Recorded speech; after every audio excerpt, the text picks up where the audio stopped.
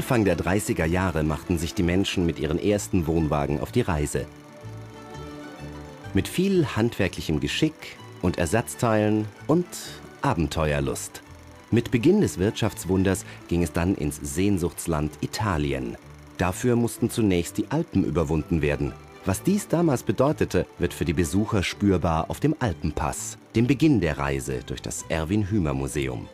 In 80 Wagen um die Welt, auf einer einzigartigen Tour durch Vergangenheit, Gegenwart und Zukunft des mobilen Reisens erzählt das Museum ein schönes Stück europäischer Kulturgeschichte.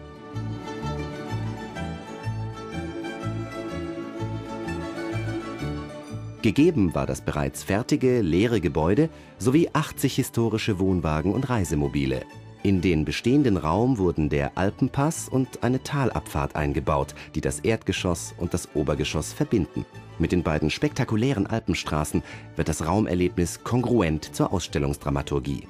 Wie ein roter Faden führt die Traumstraße die Besucher zu speziellen Routen, spannenden Exponaten und geheimnisvollen Sehnsuchtsräumen, die weithin sichtbar sind.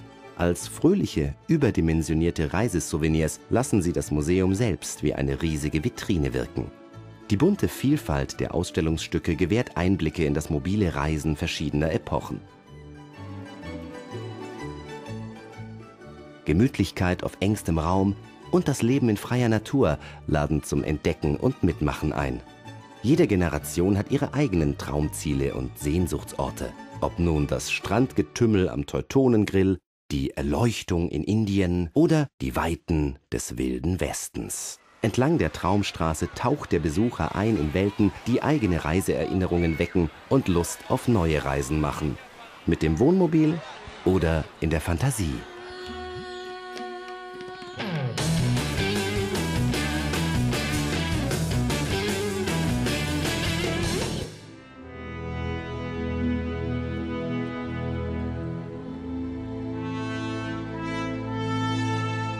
Im Globusraum endet die Reise durch das Museum.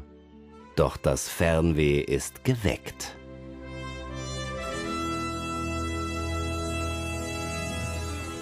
Die Welt ist voller Reiseziele und Abenteuer. Heute genauso wie damals.